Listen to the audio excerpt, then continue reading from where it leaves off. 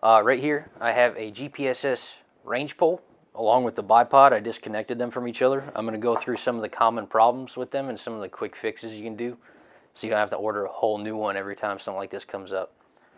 So the first part is going to be the quick release adapter here. This is the point uh, where you can connect the M7 or the TSC3.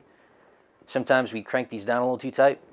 So when it comes time to loosen them, the knob comes off, but the quick release does not. So I'm going to go through how to salvage this without taking uh, needle nose pliers to the threading and ruining it. Then I'm going to go through uh, when you extend the range pole. Sometimes they stop a little early, doesn't let you through, and you can't get quite past the white to where those plastic uh, nipples are going to pop out where you need it to be exactly that two meters. Uh, what's actually happening there is there's a dent somewhere in the range pole tube where this can't get past. Okay, so I'm going to go through how to fix that uh, without having to order a brand new bipod or range pole. And then the bipod itself, uh, there's two more things here as well. So first thing I'm going to hit is the feet, the boots, the pointy parts. These are usually very loose and they're easy to lose. So once you lose these, uh, you probably are not going to find it depending on where you are. So I'm going to go through how to get these secured so they won't fall off on you all the time. And then lastly, uh, as far as the bipod legs, so this is a good one. This is a good leg. So if I press this button, and I can extend it, and once I depress the button, it locks in place, right? That's what we want to happen. This bipod leg, it's just loose. I don't have to do anything. No matter if I press the button or not, it's loose. So I'm gonna go through how to fix that, okay? So the first one, we're gonna deal with the, uh, the quick release. So I'm gonna take off the handle and of course the quick release stays on. So the way to fix this is I can take some blue Loctite and I'll just put it on the threading. I'll tighten this back on, let it cure overnight, and I'll be able to take it off the next day. Okay, maybe even within a couple hours, it should tighten up on you. So I take the blue Loctite, put maybe a drip or two on, liberally, thread the handle back on, make it nice and tight, and then all I have to do is let it sit. sits for about 24 hours, it'll cure. The next day I should be able to just take it right back off. You might have to help it out at first with some pliers, but that's, that's the quickest way to fix it. Next part, uh, the range pole won't extend completely, it only goes to the white. Uh, sometimes they won't even make it this far. And again, all that is, is there's a dent somewhere on the range pole tube that's not letting the internal tube extend completely. So the first step of this is I'm going to loosen that retainer nut, slide the stopper out, and the first step here is I need to pull the internal tube out of the external tube. Sometimes these are really stuck in here, and what you might have to do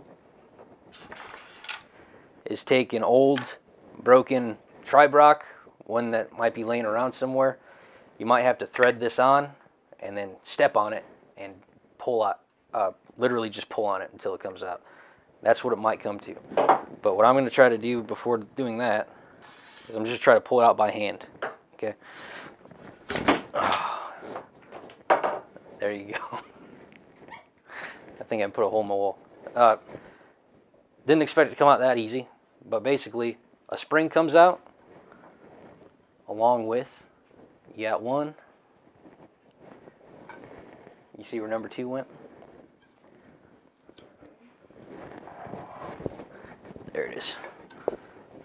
Okay.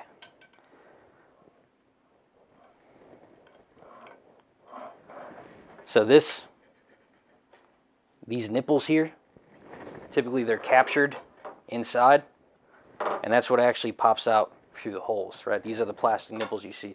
So if you pull it off too hard like I just did, uh, you might lose them. They might go flying on you. So just be prepared for that.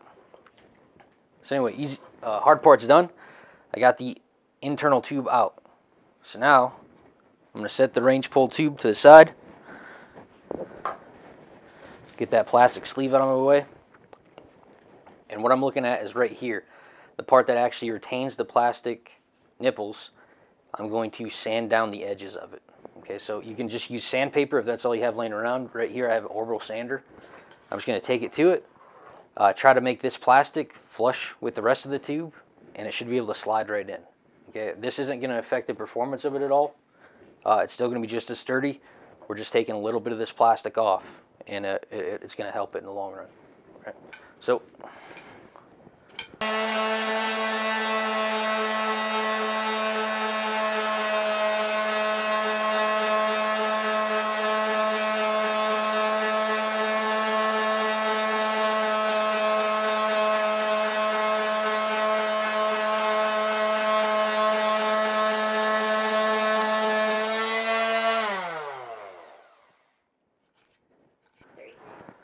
So as you see, I just sanded down uh, that plastic. I didn't have to go very long at all. I just sand it down until I think it's good, and then I slide it back into the external tube. And as you can see, if I do so, it goes in and out without a problem. Okay, so now at this point, I can take my, my sleeve, push it back down. I'll take the spring and the plastic nipples, place them back in.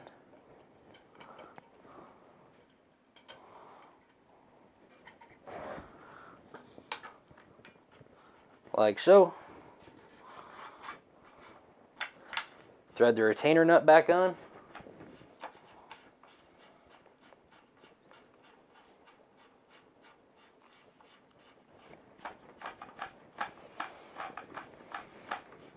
It's a big thread. And then now, it fully extends. The nipples come out. I can put push it back in. And it's not stopping like it was. And that shouldn't have a problem until somebody else puts a bigger dent into it. And you just go back through and sand it again.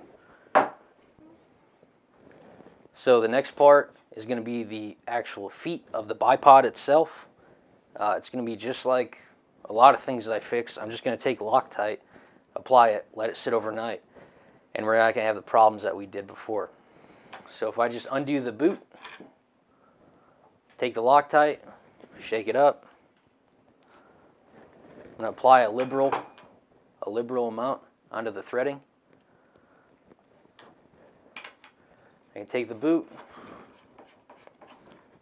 thread it back on, and I can just hand tighten it. Or if you have a wrench, you could really crank it down. I'll just do that with both of them. Again, take the boot off, apply the Loctite, crank it back down. Let it sit overnight, and now you won't have problems with these falling off on you in the field while you're using them. Okay. And the last thing we're going to hit on the range pole is the actual uh, extension of the legs. So like I demonstrated earlier, this one is nice and tight. If I press the button, lets me adjust it. And when I release the button, it's nice and tight. Locks into place. Or, jeez. This one is very loose. Doesn't matter if the button's pressed or not. So this is a very easy fix. I don't even need Loctite. I just use my hands. There's an adjustment inside of this uh, where I can tighten it back down.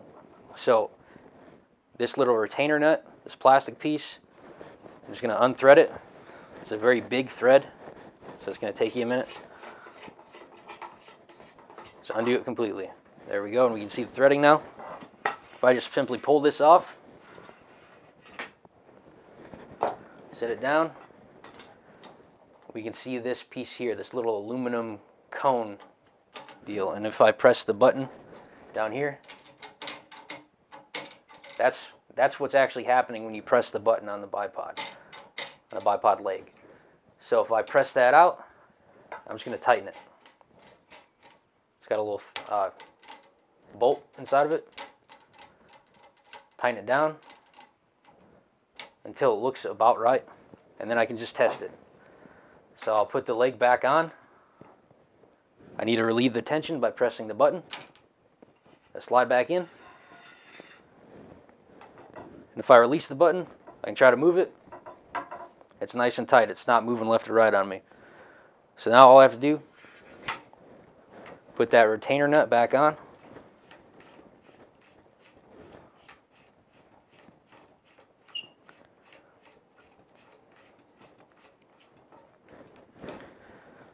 And it's good. It's good to go. You could actually, on that uh, aluminum cone that I just threaded back on inside here, you could put Loctite on it and that would probably hold it for a lot longer. I might actually go back in and do that. But it's such an easy thing to do that you don't really have to worry about it. If you're running into that problem, it takes you about two minutes to fix. That's it.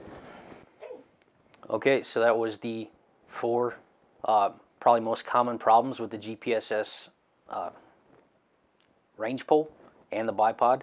Those are some big problems you run into a lot with them, and it's very easy fix. The Loctite itself, the blue Loctite, is only two, three dollars. Home Depot, you can buy it online. You can go to a store.